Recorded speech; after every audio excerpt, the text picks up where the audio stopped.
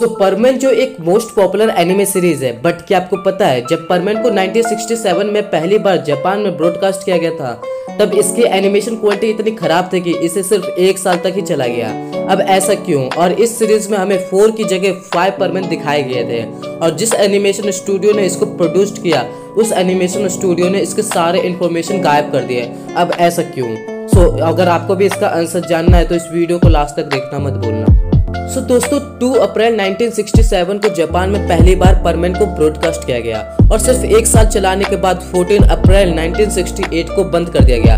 Because एक तो ये ब्लैक एंड व्हाइट एनिमेशन था और साथ में इसकी एनिमेशन एंड वॉइस क्वालिटी दोनों ही खराब थी।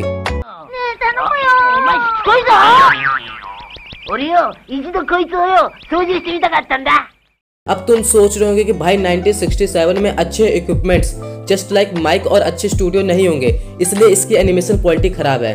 तो ऐसा कुछ नहीं है, तुमने जंगल बुक तो देखी ही होगी, जो 18 अक्टूबर 1967 में रिलीज़ की गई थी। अब मुझे ये बताने की ज़रूरत नहीं है कि जंगल बुक की एनिमेशन एंड वॉइस क्वालिटी कितनी अच्छी थी, और साथ में ये कलर एनिमेशन था। अब 1967 के परमेन को सिर्फ़ एक सीज़न चलाया गया, जिसमें 54 एपिसोड थे, और उसे भी 14 अप्रैल 1968 को क्लोज कर दिया गया।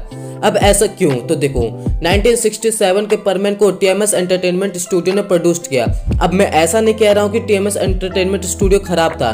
नहीं, ये स्टूडियो जापान की oldest and most famous anime studio है, क्योंकि इसमें इसने बहुत सारे अच्छे एनिमे प्रोड्यूस किए हैं और साथ में इसने बहुत सारे वेस्टर्न एनिमेटेड सीरीज़ को भी प्रोड्यूस किया जैसे स्पाइडरमैन ओबेक सोनिक एक्सरी जैसे कि तुम देख सकते हो। और साथ में पॉज करके भी पढ़ सकते हो। बट तब भी ये स्टूडियो ने परमेंट की इतनी खराब एनिमेशन की कि इसे 1968 में बंद करना पड़ा। अब तुम गूगल पर 1967 परमेन के बारे में सर्च करोगे तो सिर्फ़ तुम्हें फ़र्स्ट एपिसोड मिलेगा और साथ में ब्लैक एंड व्हाइट फ़ोटोज़ और अगर आप 1967 परमेंट टेमस एंटरटेनमेंट सर्च करोगे तो आपको सिर्फ़ टेमस एंटरटेनमेंट के बारे में दिखेगा।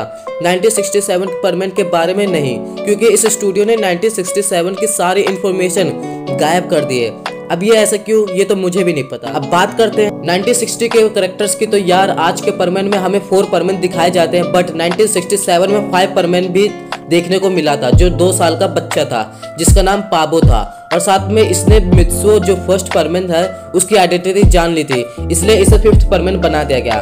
बात करते हैं बर्डमैन की तो यार आज के बर्डमैन और 1967 के बर्डमैन में बहुत अंतर है, जैसा कि तुम देख सकते हो।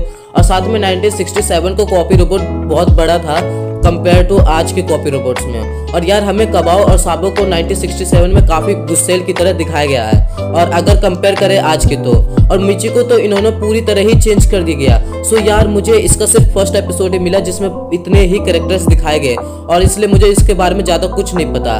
जब ये 1967 परमेंट क्लोज हुआ तो 1980 में मतलब 12 साल के बाद फुजिको फूजो का एक स्पेशल एपिसोड कलर एनिमेशन में रिलीज़ किया गया, जिसका नाम परमेंट क्यू डोरेमोन था, जिसमें फ्यूजियो फूजियो के थ्री मोस्ट फ़ेमस एनिमे की कोलैब एपिसोड था, जिसमें परमैन का मास्क ब्लैक था, जो आज नीला है। फिर 4 अप्रैल 1983 को सेन आई एनिमेशन स्टूडियो ने ओरिजिनल परमैन को कलर और अच्छे क्वालिटी में प्रोड्यूस किया जिससे परमेन पॉपुलर हो गया और वर्ल्ड वाइड दिखाया जाने लगा। बट 1967 का परमेन आज भी मिस्ट्री बन के रह गया है। सो वीडियो हो गई खत्म। सो वीडियो आपको थोड़ी भी अच्छी लगी हो तो लाइक कर देना और चैनल को ज़रूर सब्सक्राइब कर देना। बहुत जल्द मिलता है नेक्स्ट वीडियो में।